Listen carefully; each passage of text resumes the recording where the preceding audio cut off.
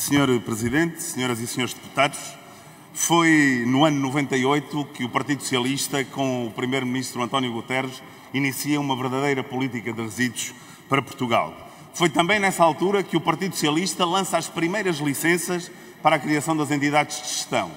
Portugal tem hoje taxas de reciclagem muito baixas face àquilo que é o panorama e a ambição europeia, à semelhança daquilo que é a média dos países da União Europeia, excetuando os países nórdicos, que alcançam taxas de reciclagem na ordem dos 3 a 14%.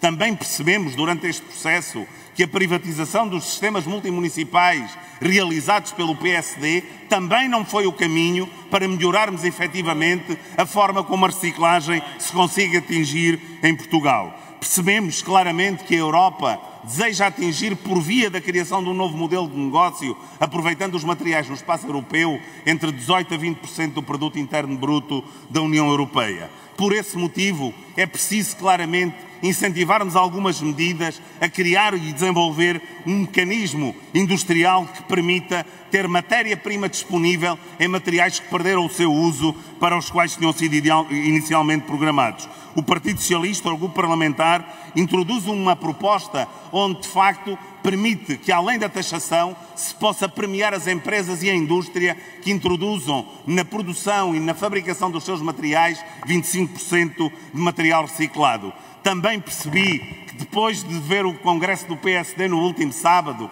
à semelhança em matéria de pensões, também em matéria de ambiente, há muito poucas propostas para melhorar aquilo que é a criação e a revelação a partir da economia circular.